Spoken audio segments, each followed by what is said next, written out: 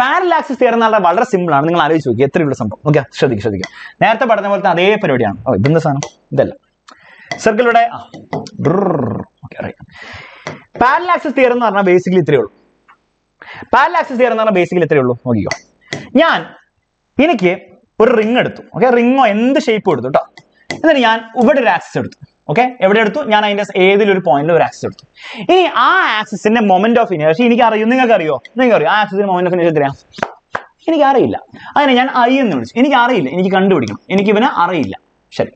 അങ്ങനെയാണ് അവനെ എങ്ങനെ കണ്ടുപിടിക്കും എന്നാണ് പാരലാക്സിസ് തിയറം പറഞ്ഞിരുന്നത്. എന്താണ് ചെയ്യണമെന്ന് പറയും ഒന്നുമില്ല.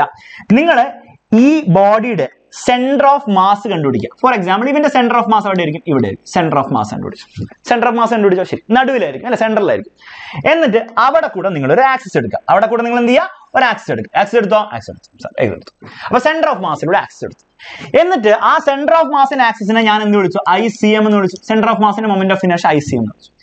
അങ്ങനെയാണെങ്കിൽ ഒരു കാര്യം കൂടി മാർക്ക് ചെയ്യണം. അതായത് ഇവർ തമ്മിലുള്ള ഈ ഡിസ്റ്റൻസ് ഇല്ലേ ഈ രണ്ട് ആക്സസ് തമ്മിലുള്ള ഡിസ്റ്റൻസ് ഒന്ന് നമുക്ക് വേണ്ട മൊമെന്റ് ഓഫ് ഇനേഴ്സ് വേണ്ട ആക്സസ് രണ്ടാമത്തെ ആക്സസ് എന്ന് പറഞ്ഞാൽ സെന്റർ ഓഫ് മാസിലൂടെയുള്ള ആക്സസിനെ അവർ തമ്മിൽ ഡിസ്റ്റൻസിനെ ഞാൻ വിളിച്ചു എച്ച് എന്ന് വിളിച്ചു. എന്ത് വിളിച്ചു? എച്ച് എന്ന് വിളിച്ചു. എ എന്ന് വിളിച്ചു. എന്ത് വിളിച്ചാലും കുഴപ്പമില്ല. ടെക്സ്റ്റ് ബുക്കിൽ എ എന്നാണ് ഞാൻ എച്ച് എന്ന് വിളിക്കും. ഓക്കെ ആ ഡിസ്റ്റൻസിനെ എച്ച് എന്ന് വിളിച്ചെങ്കിൽ ഇക്വേഷൻ വളരെ സിമ്പിൾ ആണ്. നോക്കിയേ ആ ഐ എന്തായിരിക്കും എന്ന് അറിയോ? നമുക്ക് വേണ്ട അറിയാത്ത ആ ഐ എന്തായിരിക്കും അറിയോ? ഒന്നുമില്ല. ഈ I C M plus M into H square ഇത്രയുള്ള സംഭവം. എന്താണ് sir I C M centre of മാസിന്റെ moment finish എല്ലാവർക്കും അറിയായിരിക്കും. ഏത് ബോഡിയാണ് സെൻട്രൽ മാസിന് മൊമെന്റേഷൻ അറിയാം. അത് അറിയുമെങ്കിൽ ഐ സി എം ആ സെൻട്രൽ മാസിന് മൊമെന്റേഷൻ പ്ലസ് ബോഡിയുടെ മാസ് ഇന്റു എച്ച് സ്ക്വയർ ആണ്. എൽ അല്ല കേട്ടോ അവിടെ എച്ച് സ്ക്വയർ എച്ച് എന്ന് പറഞ്ഞാൽ ഈ രണ്ട് ആക്സിസ് തമ്മിലുള്ള ഡിസ്റ്റൻസ് ഇത്രയേ ഉള്ളൂ. തിയറം ഓഫ് പാരലാക്സ് അഥവാ parallel axis theorem parallel axis theorem simple ആയിട്ട് മനസ്സിലായി. വലിയ ബുദ്ധിമുട്ടൊന്നുമില്ല. അപ്പുറത്തെ ആക്സിന്റെ moment finish centre of മാസിന്റെ moment finish plus M H square okay വലിയ ബുദ്ധിമുട്ടില്ല. അതിന്റെ സ്റ്റേറ്റ്മെന്റ് ഒന്ന് പഠിച്ചു നോക്കുക. സ്റ്റേറ്റ്മെന്റ് ഇംഗ്ലീഷിൽ കുറച്ച് കോംപ്ലിക്കേഷൻ ഉണ്ട് അല്ലാണ്ട് വേറെ ബുദ്ധിമുട്ടൊന്നുമില്ല. ഒന്നുമില്ലെങ്കിലും പരീക്ഷയിൽ എന്ത് ചെയ്യണം? സ്റ്റേറ്റ്മെന്റ് ഒക്കെ മറന്നു പോകാം പക്ഷെ പരീക്ഷയിൽ എന്ത് ചെയ്യണം? നിങ്ങൾ ഈ ഡയഗ്രാം വരച്ചു വെക്കുക ഐ കാണിക്കുക ഐ സി എം കാണിക്കുക എച്ച് കാണിക്കുക ഈക്വേഷൻ എഴുതി വെച്ചാൽ തന്നെ നിങ്ങൾക്ക് രണ്ട് മാർക്കിന് ആ സ്റ്റേറ്റ്മെന്റ് ചോദിക്കാം. ഓക്കെ സ്റ്റേറ്റ്മെന്റും പ്രോബ്ലം ചോദിക്കും അഞ്ച് മാർക്കിന് മൊത്തത്തിൽ ചോദിക്കും. രണ്ട് മാർക്കാണ് സ്റ്റേറ്റ്മെന്റ് തരാമെന്ന് നിങ്ങൾ സ്റ്റേറ്റ്മെന്റ് എഴുതിയില്ലെങ്കിൽ ഈ സാധനം വരച്ച് വെച്ച് ഇക്വേഷൻ എഴുതി വെച്ചാൽ നിങ്ങൾക്ക് ഒന്നേ മുക്കാൽ മാർക്ക് കിട്ടും. ചില സമയത്ത് രണ്ട് മാർക്കും കിട്ടും സ്റ്റേറ്റ്മെന്റ് എഴുതിയില്ലെങ്കിൽ. പക്ഷെ ഒന്നേ മുക്കാൽ മാർക്ക് എങ്കിലും കിട്ടും ഓക്കെ അപ്പൊ ഇതെങ്കിലും പഠിച്ചു വെക്കുക? സ്റ്റേറ്റ്മെന്റും പഠിച്ചു വെക്കണം. മറന്നു പോയാലുള്ള കേസാണ് ഞാൻ പറയുന്നത് കേട്ടോ ഒന്നും എഴുതാണ്ടെന്ന് വെക്കരുത്. അങ്ങനെയാണ് ഇവന്റെ ആപ്ലിക്കേഷൻ പഠിക്കുക. അപ്പൊ തിയറി പഠിച്ചു അത്രയുള്ള സംഭവം. I is equal I C M plus M H square അത്രേ ഉള്ളൂ. നമുക്ക് ഇതിന്റെ ആപ്ലിക്കേഷൻ പഠിക്കാം. ഫസ്റ്റ് ആപ്ലിക്കേഷൻ നോക്കിക്കേ. What is the moment of inertia of a ring about a tangent perpendicular to the plane of the ring. ഒരു ring എടുത്തു. എന്നിട്ട് റിങ്ങിന്റെ അറ്റത്ത് ടാൻജന്റ് എന്ന് പറഞ്ഞാൽ ജസ്റ്റ് ഒരസി പോകുന്ന സാധനം അല്ലേ? ടാൻജന്റ് എടുത്തു. ടാൻജന്റിന്റെ പ്രത്യേകത എന്താണ്? പ്ലെയിൻ ഓഫ് ദ റിങ്ങിനോട് പെർപെൻഡിക്കുലർ ആണ്. അപ്പൊ ഈ രണ്ട് ടാൻജന്റ് വരയ്ക്കുക അല്ലെ? ഒരു ഒരു റിംഗ് എടുത്താൽ ഒരു ടാൻജന്റ് ഈ ടാൻജന്റ് മറ്റേ ടാൻജന്റ് പെർപെൻഡിക്കുലർ ആയിട്ട് ഈ ടാൻജന്റ് ഈ ടാൻജന്റ് എടുക്കാം ഈ ടാൻജന്റ് എടുക്കാം. ഇവർ പറഞ്ഞ ടാൻജന്റ് എന്താണ്? പ്ലെയിനോട് പെർപെൻഡിക്കുലർ ആയുള്ള ടാൻജന്റ് സോ ഈ ടാൻജന്റ് അല്ലേ? ഇങ്ങനെ വെക്കുകയാണെങ്കിൽ ഈ ടാൻജന്റ് അങ്ങോട്ടുള്ള ടാൻജന്റ് അല്ല ഈ ടാൻജന്റ് ആ ടാൻജന്റിന്റെ മൊമെന്റ് ഓഫ് ഇനർഷ്യ ഐ ആണെങ്കിൽ ആ ഐ എത്ര എന്നാണ് അവർ ചോദിക്കുന്നത്. ഒരു ബുദ്ധിമുട്ടുമില്ല I is equal to parallel axis theorem പറഞ്ഞ എന്താണ്? I is equal to I C M plus M H square ആണ്. ഈ ഇക്വേഷൻ വെച്ച് നമ്മൾ സിമ്പിൾ ആയിട്ട് കണ്ടുപിടിക്കുന്നു. ഓക്കെ ഇനി ഐ സി എം എന്ന് പറഞ്ഞാൽ സെന്റർ ഓഫ് മാസ് ഇവിടെയാണ്. So this is I C M I C M centre of mass ഇനി അവർ തമ്മിൽ ഡിസ്റ്റൻസ് എന്താണ്? അതാണ് നമ്മുടെ എച്ച് ഈ ഡിസ്റ്റൻസിനാണ് നമ്മൾ എച്ച് എന്ന് വിളിക്കുക. വലിയ ബുദ്ധിമുട്ടൊന്നുമില്ല. ഇനി നിങ്ങൾ ഓരോ കാര്യങ്ങൾ പറഞ്ഞ ഐ വിൽ ബി ഐ നമുക്ക് അറിയില്ല കണ്ടുപിടിക്കണം ഐ സി എം എത്രയായിരിക്കും ഒരു റിംഗ് ആണ്. റിംഗിന്റെ സെന്റർ കൂടെയുള്ള മൊമെന്റ് ഓഫ് ഇനേഷ്യ എത്രയാണ്? പെർപെൻഡിക്കുലർ ആയിട്ടുള്ള മൊമെന്റ് ഓഫ് ഇനേഷ്യ റിംഗിന്റെ എത്രയാണ്? വെറും എം ആർ സ്ക്വയർ അല്ലേ? ഇവന്റെ റേഡിയസ് ആർ ആണെങ്കിൽ എം ആർ സ്ക്വയർ റേഡിയസ് എത്രയാണ്? ആർ ആണെങ്കിൽ എം ആർ സ്ക്വയർ അല്ലേ? Plus M into mass of ring into H എത്രയാണ് ഇവിടെ? എച്ച് എന്ന് പറഞ്ഞാൽ എത്രയായിരിക്കും? ഇത് റേഡിയസ് അപ്പൊ അതൊരു റേഡിയസ് അല്ലേ? അപ്പൊ ഈ കേസിൽ എച്ച് എന്ന് പറഞ്ഞാൽ എന്താണ്? ബേസിക്കലി ആർ ആണ്. അപ്പൊ വീണ്ടും ഒരു M R square M R square M R square രണ്ടും കൂടി ചേർന്നാൽ രണ്ട് M R square so moment of ഇനേഷ്യ ആ ടാൻജന്റ് എന്തായിരിക്കും? ആ ടാൻജന്റ് മൊമെന്റ് ഓഫ് ഇനേഷ്യ എന്തായിരിക്കും? Two M R square two M R square simple ഒരു ബുദ്ധിമുട്ടില്ല. Parallel axis theorem straight forward application okay ബുദ്ധിമുട്ടൊന്നുമില്ല. അടുത്ത ചോദ്യം. അപ്പൊ ഇതെല്ലാവർക്കും ക്രിസ്റ്റൽ ക്ലിയർ ആണെങ്കിൽ ക്രിസ്റ്റൽ ക്ലിയർ എന്ന് പറയാൻ നമുക്ക് അടുത്ത ഒരു ആപ്ലിക്കേഷനിലേക്ക് വലിയ ബുദ്ധിമുട്ടൊന്നും ഉണ്ടായിരുന്നില്ല അല്ലേ? അടുത്ത ആപ്ലിക്കേഷൻ നോക്കുക. അപ്പൊ ഫിഗർ ഒക്കെ പരീക്ഷ നിങ്ങൾ തന്നെ വരയ്ക്കണം. പരീക്ഷയിൽ ഫിഗർ തരില്ല. ഞാൻ എനിക്ക് അറിയാവുന്നതുകൊണ്ട് ഞാൻ വരച്ചു വെച്ചിരുന്നു കേട്ടോ. പരീക്ഷ ഫിഗർ നിങ്ങൾ ക്വസ്റ്റ്യൻ വായിച്ച് മനസ്സിലാക്കാം. What is the moment of inertia of a ring about വീണ്ടും ടാൻജന്റ് ആണ്? ടാൻജന്റ് ആണ് to the plane of the circle of the ring ഇപ്രാവശ്യം റിങ്ങിന്റെ പ്ലെയിനിൽ കിടക്കുന്ന ടാൻജന്റ് ആണ്. നേരത്തെ പെർപെൻഡിക്കുലർ ടാൻജന്റ് ആയിരുന്നു. ഇപ്പൊ പ്ലെയിനിൽ കിടപ്പുള്ള ടാൻജന്റ് അങ്ങനെയാണ് മൊമെന്റ് ഓഫ് ഇനേഷൻ മാറും. ഓക്കെ ആ മൊമെന്റ് ഓഫ് ഇനേഷൻ കണ്ടുപിടിക്കാൻ പറഞ്ഞു. സിമ്പിൾ ആണ് ഒരു ബുദ്ധിമുട്ടില്ല. നോക്കിയോ ശ്രദ്ധിക്കും ശ്രദ്ധിക്കും ശ്രദ്ധിക്കും ഈ മൊമെന്റ് ഓഫ് ഇനേഷൻ അറിയില്ല. വീണ്ടും പാരലാക്സിസ് തിയറം ഉപയോഗിക്കാം. സിമ്പിൾ ആയിട്ട് കണ്ടുപിടിക്കാൻ നോക്കിയോ I is equal to I C M plus M H square I C M plus M H square I C M എന്താണ് പറഞ്ഞത് സെൻട്രൽ മാസ് കണ്ടുപിടിച്ചു. സെൻട്രൽ മാസിനോട് ഇവനോട് പാരലായിട്ട് എടുക്കണം.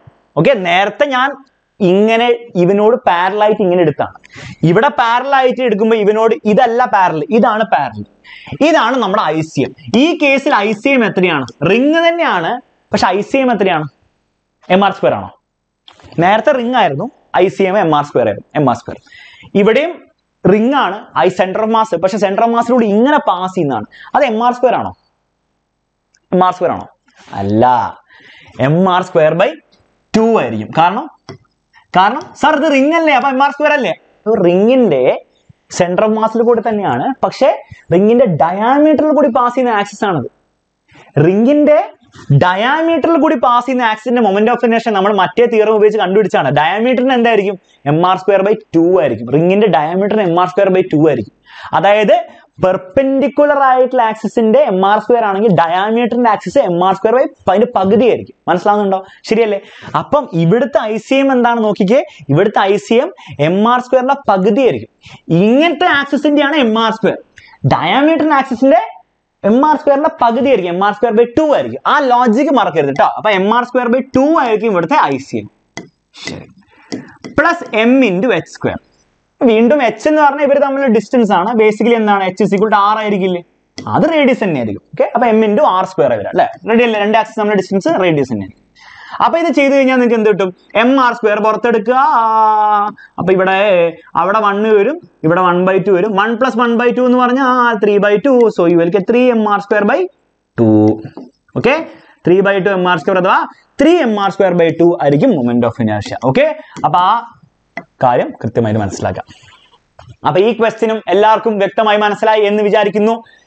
ഓക്കെ മനസ്സിലായെങ്കിൽ എല്ലാവരും ഒരു തംസ് അപ്പ് അടിച്ച് നമുക്ക് അടുത്ത ചോദ്യത്തിലേക്ക് പോകും. ഓക്കെ അപ്പൊ ഈ ചോദ്യം പരീക്ഷയിൽ വരും പരീക്ഷയിൽ വന്നിരിക്കും എന്തായാലും വന്നിരിക്കും. ഓ ഭംഗിയായല്ലോ. ഓക്കെ ഭംഗി കൂടിപ്പോയോ? വേറെ കളർ ആയിക്കോട്ടെ വേറെ ബ്ലൂ കളർ ആക്കാം.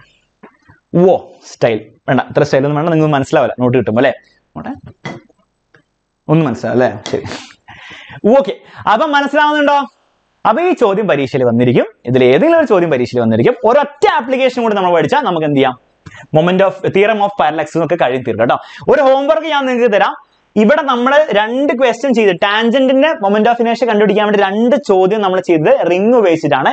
ഈ രണ്ട് ചോദ്യങ്ങളും ഡിസ്ക് ഉപയോഗിച്ചിട്ട് നിങ്ങൾ ചെയ്യാം കേട്ടോ അപ്പൊ ഹോംവർക്ക് എന്താണ്? Repeat the above problems for circular disc അപ്പൊ ഡിസ്കിന്റെ കേസിൽ ഇതേപോലെ തന്നെ ചെയ്യാൻ പോകുന്നത്. ആകെ ഐ മാത്രം മാറും അല്ലെ? ഷേപ്പ് ഒക്കെ സെയിം ആയിരിക്കും. പക്ഷെ ഐ ഫസ്റ്റ് കേസിൽ M R square by two ആയിരിക്കും. M R square M R square by two ആയിരിക്കും.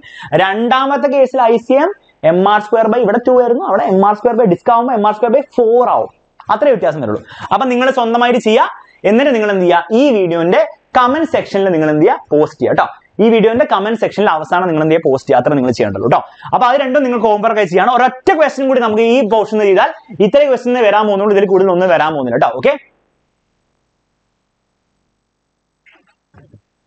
ഓക്കെ അപ്പൊ ഇത്രയും ക്വസ്റ്റൻസ് പരീക്ഷയിൽ വരാൻ പോകുന്നത് അപ്പൊ ഒരൊറ്റ ക്വസ്റ്റൻ കൂടി ചെയ്യാൻ റെഡി ആയിക്കോ. ക്വസ്റ്റൻ നോക്കുക.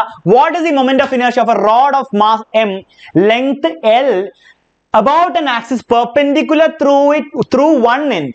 What is its radius of gyration അപ്പൊ റേഡിയസ് ഓഫ് ഗൈറേഷൻ ആണെന്ന് കേട്ടെ ഈ ഒരു റോഡ് എടുത്തിട്ട് അതിന്റെ ഒരു അറ്റത്തിലൂടെ ഒരു വൺ എൻഡിൽ ഒരു പെർപെൻഡിക്കുലർ ആയിട്ട് ആക്സസ് എടുക്കുകയാണ് അവന്റെ moment of ഇനേഷ്യത്തിൽ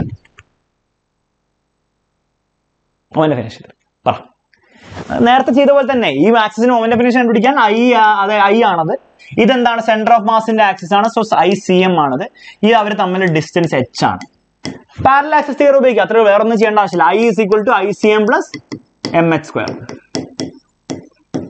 I C M എത്രയായിരിക്കും റോഡിന്റെ സെന്റർ ഓഫ് മാസിൽ അല്ലെ സെന്ററിൽ കൂടെ പെർപെൻഡിക്കുലർ ആയിട്ട് ആക്സിസ് എടുക്കുകയാണെങ്കിൽ മൊമെന്റ് ഓഫ് ഇനേഷ എന്തായിരിക്കും? പറ. മൊമെന്റ് ഓഫ് ഇനേഷ എത്രയായിരിക്കും? പറ. എം എം ബൈ ഹാർട്ട് പഠിക്കാൻ പറഞ്ഞിട്ടുണ്ടായിരുന്നു. M L square by twelve ആണ്. ബൈ ഹാർട്ട് പഠിക്കാത്തവർ ഇപ്പൊ ബൈ ഹാർട്ട് പഠിക്കാം M L square by twelve where L is the length of the ഈ സാധനം. ലെങ്ത് എന്ന് പറഞ്ഞാൽ മൊത്തം ലെങ്ത് ആട്ടോ. M L square by twelve ആണ് ഐ സി എം. അത് പഠിച്ചു വെക്കുക ബൈ ഹാർട്ട് ബൈ ഹാർട്ട് പഠിക്കാണ്ട് ചെയ്യാൻ പറ്റുമോ? ഇല്ല. കാരണം നിങ്ങൾക്ക് അറിയാം ഇത് ഇത് അറിയാണ്ട് നിങ്ങൾക്ക് ചെയ്യാൻ പറ്റുമോ ക്വസ്റ്റൻ ഇല്ല. ഇനി ബാക്കി സിമ്പിൾ ആണ് എം ഇന്റു എച്ച് എന്ന് പറഞ്ഞാൽ എന്തായിരിക്കും? എച്ച് എന്ന് പറഞ്ഞാൽ ഈ ഡിസ്റ്റൻസ് ആണ്.